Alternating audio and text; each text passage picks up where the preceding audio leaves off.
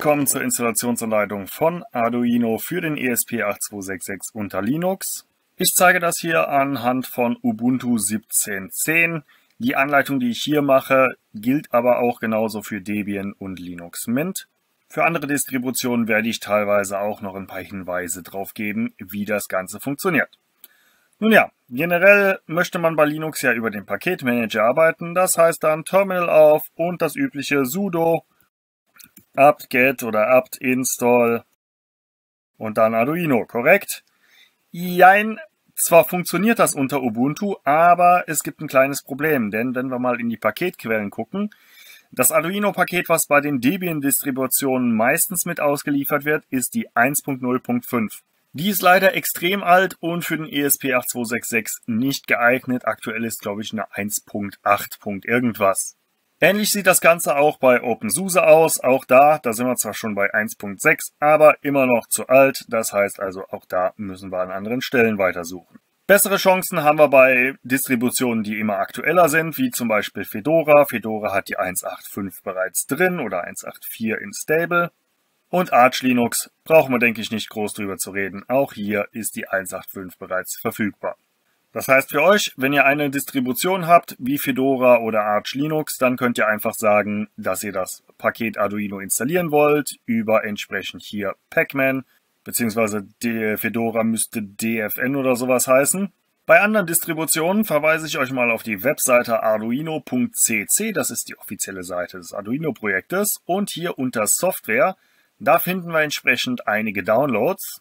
Und wenn wir auf der Seite ein kleines bisschen nach unten scrollen, dann sehen wir hier bereits Download der Arduino IDE Version 1.8.5 und wir haben hier unter anderem Downloads für Linux 32-Bit, 64-Bit und ARM.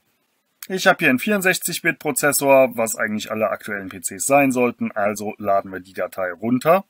Können jetzt hier an der Stelle, wenn wir wollen, eine Spende machen an das Arduino-Projekt. Wenn ihr das Ganze häufiger verwendet, ist das natürlich eine gute Idee einfach um die Leute, die dahinter stehen und diese ganze Software und Infrastruktur betreiben, ein bisschen zu unterstützen. Ihr könnt aber auch sagen, just download, dann geht's natürlich kostenfrei weiter. Wir kriegen die entsprechende Datei, die einmal abspeichern, bekommen dann hier diese TAXZ-Datei und was wir machen können, ist einfach Rechtsklick hier entpacken. Dann bekommen wir hier einen Ordner, Arduino 185, nochmal da rein und hier sehen wir schon diverse Sachen. Für uns wichtig ist die Install-SH. Leider kann Ubuntu die nicht aus der grafischen Oberfläche direkt ausführen. Jedenfalls habe ich keinen Weg dazu gefunden. Also gehen wir ins Terminal. Wenn ihr das nicht hier habt, entsprechend über das Anwendungsmenü danach suchen. Kommt da hier so ein Bildschirm ungefähr. Da tippen wir jetzt entsprechend erstmal CD, das heißt Change Directory, anderes Verzeichnis. Und wir wollen Downloads. Kleiner Tipp, wenn ihr angefangen habt zu tippen, könnt ihr mit Tab das Ganze fertigstellen, wenn es nur noch eine Wahl gibt. Wir wollen den Downloads, Arduino, Arduino und dann einmal Enter. Und jetzt sagen wir Punkt schräger install.sh. Drücken einmal Enter. Wir sehen jetzt hier ein paar Fehlermeldungen, die haben aber noch nicht unbedingt was zu sagen. Einfach abwarten, bis das er da durchgelaufen ist. Wir sehen jetzt hier unten, hier steht Done. Das sieht doch schon mal gut aus. Jetzt können wir hier alle Fenster zumachen, denn die Installation ist damit von Arduino selber auf jeden Fall schon mal abgeschlossen. Theoretisch sollten wir dann ein Desktop-Icon haben. Ihr seht, das ist hier ein bisschen kaputt, weil es nicht vertraut ist. Alternativ könnt ihr auch auf Anwendungen gehen und dann nach Arduino suchen. Dann sehen wir schon, hier ist die Arduino IDE drin. Aber wenn man will, klappt auch das Desktop-Icon. Einfach mal einen Doppelklick machen. Dann kommt hier eine Frage, ob das Ding wirklich vertrauenswürdig ist. Vertrauen und starten und dann seht ihr, das Bild erscheint und jetzt startet auch die IDE. So sieht die Software dann aus. Wir haben hier oben ein paar Knöpfe. Wir haben Überprüfen, Hochladen. Hiermit könnt ihr gucken, ob das, was ihr an eigenen Code geschrieben habt, in Ordnung ist. Hiermit könnt ihr das dann zum Board übertragen. Hier in der Mitte schreibt ihr den eigentlichen Code. Aber noch können wir nicht ganz loslegen, denn wenn wir mal hier schauen, Werkzeuge Board, da können wir nämlich auswählen, welche Hardware wir haben. Wenn wir hier sehen, hier ist jede Menge Arduino, aber kein ESP8266. Den müssen wir nämlich noch erstmal einpflegen und dafür gibt es wieder eine Webseite. Das wäre die hier, github.com-esp8266-arduino. Das ist das Projekt, um den ESP mit Arduino nutzbar zu machen. Wenn wir auf der Seite runter scrollen unter diese ganzen Einträge, dann kommen wir hier zur README, also zur Anleitung. Und für uns interessant ist die Installation über den sogenannten Board Manager. Das Einzige, was wir dazu brauchen, ist diese Adresse hier, diese URL. Die kopieren wir uns an der Stelle. Kopieren. Gehen wir zu unserem Arduino zurück. Gehen dort auf Datei, Voreinstellungen und suchen hier unten nach diesem Textfeld zusätzliche Bordverwalter-URLs. Da fügen wir das Ganze ein. Das geht per Steuerung V. Die rechte Maustaste ist in dem Feld leider gesperrt. Wenn schon was drinstehen sollte, könnt ihr hier hinten draufklicken auf dieses eine Feld und könnt dann hier in die nächste Zeile einfach die nächste Adresse reinschreiben. Da können mehrere drin sein. Ist die Adresse eingetragen, gehen wir auf OK, gehen dann nochmal auf Werkzeuge, Board und dort in den Bordverwalter. Das kann jetzt einen Moment dauern, dadurch, dass es das erste Mal ist, dass wir das öffnen, wird jetzt hier dieser Plattform-Index heruntergeladen. Ist das abgeschlossen, können wir hier oben in dem Feld einfach ESP eingeben und wir sehen hier schon den Eintrag ESP8266 bei ESP8266 Community. Aktuell ist das Version 2.4.0, das heißt wir klicken einmal da drauf. Die aktuellste Version steht automatisch hier drin. Wir müssen nur noch auf Installieren klicken und der lädt jetzt automatisch alles Nötige runter und installiert das Ganze.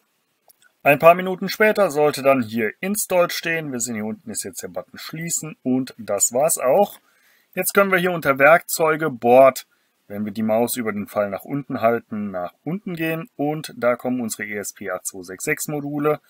Ich habe hier zum Beispiel einen VMOS D1 Mini, das ist der hier. Und wir sehen, es steht jetzt hier unten auch drin. Einen Punkt haben wir aber noch, nämlich wenn wir unter Werkzeuge Port gucken, da sollte eigentlich TTY USB irgendwas stehen.